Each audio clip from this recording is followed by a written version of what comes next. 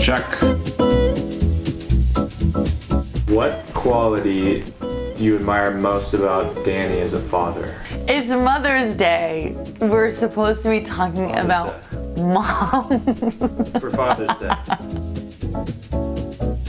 It's our day. It's my day. I get to do whatever I want on Mother's Day. My man, who's filming this right now behind the camera, does the best Mother's Days and celebrates both me and my mom and his mother.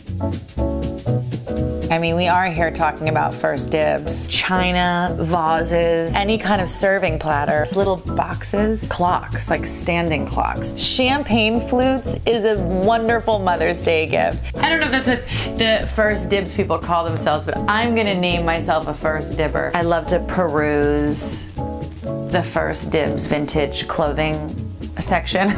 because they have the most amazing vintage clothes. Do you know that I'm wearing a vintage Oscar de la Renta that I'm in love with?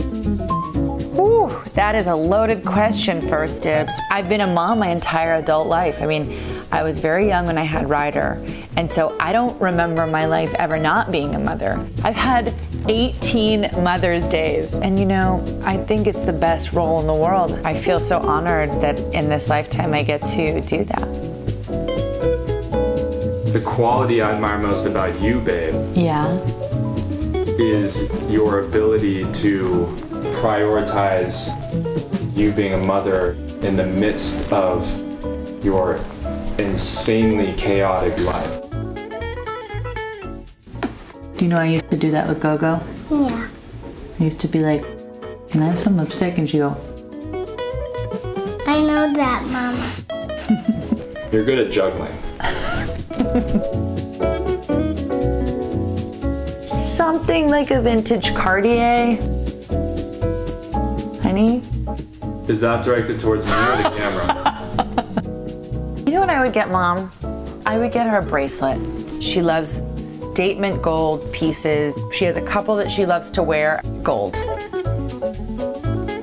It's a special present. Yes. Did you get it from 1stDibs? Who's that? Mommy, Thingy, Ryder. I know you like it, Mama. I love it. Thing looks funny. I know. And me. Mm hmm How does mommy look? Look happy. Sounds about right.